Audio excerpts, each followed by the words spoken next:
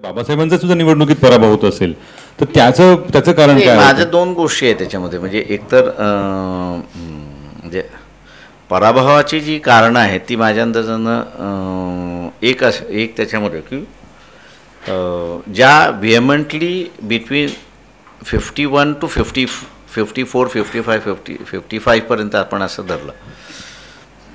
तर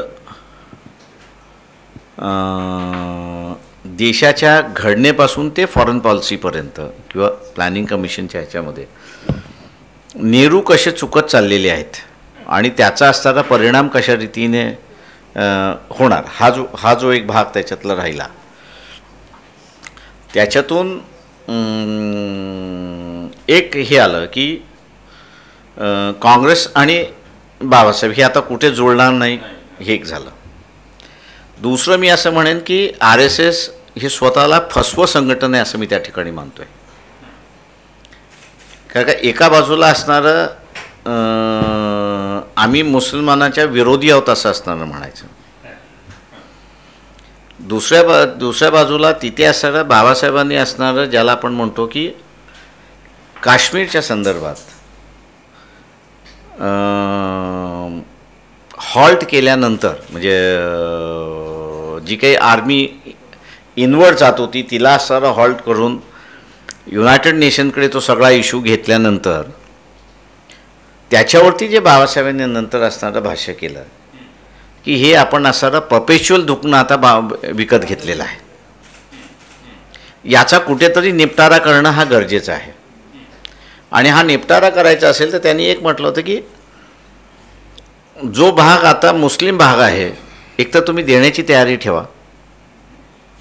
त्या सगळ्या ह्याच्यामध्ये नाही तर तुम्ही युनायटेड नेशनचे फोर्सेस आणून त्या ठिकाणी ठेवा. बोथ साईड्स याला काँग्रेसही मान्य केलं नाही. त्यावेळेस. उघडपणे आर एस एसनी त्यावेळेस असणारा पाठिंबा ते दर्शविला नाही. पण आतून असणारा जो काही पा जो काही प्रचार त्यावेळेस असताना झाला ही पुन्हा देशाची नवीन फाळणीची असणारी जी आहे वे he was fee fighting not only against the Congress पण त्या काळी जनसंघ एवढा स्ट्रॉंग नव्हता पण R S S was a strongest organization Hindu Mahasabha was the strongest organization Jayakar जे बाबासाहेबांबरोबर नेहमी असायचे जयकर हॅड पास्ट अवे आणि त्याच्यामुळे असणारा पूर्ण हिंदू महासभा ही त्या काळी बाबासाहेबांच्या विरोधात गेली. तेव्हा त्यांचा हा हा हे दोन्ही ठिकाणचं डिफीट आपण जर ब म्हणजे आणि त्याच्याबरोबर दोन्ही ठिकाणी कम्युनिस्ट आहेत.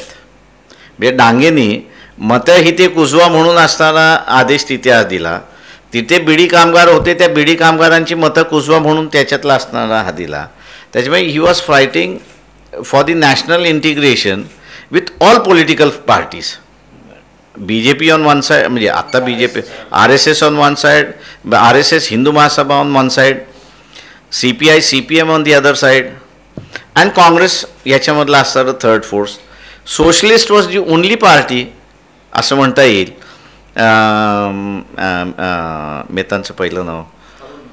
न- नाही नाही Ashok Mehta.